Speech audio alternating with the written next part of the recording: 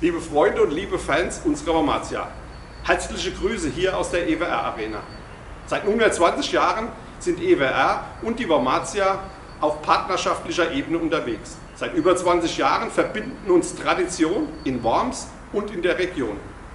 Wir freuen uns sehr und sind stolz darauf, die Wormatia schon so lange begleiten zu dürfen und werden sie auch in Zukunft begleiten. In dieser schwierigen Zeit der Pandemie ist es notwendig, dass man Partnerschaft auch auf Augenhöhe pflegt und das tun wir gemeinsam. Und wir werden uns auch in Zukunft gemeinsam um diese Wormatia, aber auch um die Gesellschaft hier in Worms und der Region kümmern. Im Sportlichen läuft es für die Wormatia gut. Nur die Pandemie hat diesen sportlichen Erfolg gestoppt. Nun gilt es, diesen sportlichen Erfolg wieder aufzunehmen nach der Pandemie und in die Regionalliga zu schielen. Das muss gestattet sein.